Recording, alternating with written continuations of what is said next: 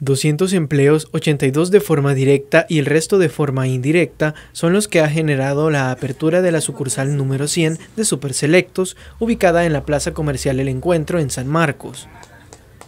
El horario de atención para esta nueva tienda será de 8 de la mañana a 10 de la noche.